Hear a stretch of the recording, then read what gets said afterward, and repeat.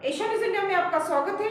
मैं प्रिया, आपके साथ। दिल्ली एनसीआर में बारिश की वजह से शुक्रवार सुबह पाँच बजे इंदिरा गांधी इंटरनेशनल एयरपोर्ट के टर्मिनल एक पर पार्किंग की छत गिर गई। हादसे में कार में बैठे एक कैब ड्राइवर की मौत हो गई। आठ घायल है। घायलों का इलाज मेदांता अस्पताल में चल रहा है। Delhi fire service police, CISF और एनडीआरएफ की टीमें मौके पर राहत बचाव में जुटी है। दिल्ली फायर सर्विस के अधिकारियों ने बताया टर्मिनल एक पर डोमेस्टिक फ़्लाइट के लिए पार्किंग एरिया में सुबह गाड़ियों की लंबी लाइन लगी थी। इसी दौरान पार्किंग की छत गिर गई। छत का भारी भरकम हिस्सा और लोहे के तीन सपोर्ट बीम भी गाड़ियों पर गिर गए। इस दौरान वहाँ खड़ी कारें बीम में दब गई। आईजीआई एयरपोर्ट की डीसीपी उषा रंगनानी ने बताया कि डिपोर्चर गेट नंबर एक से गेट नंबर दो तक फैले टर्मिनल एक के बाहर का शेड ढह गया, जिसमें करीब चार गाड़ियाँ दब गई।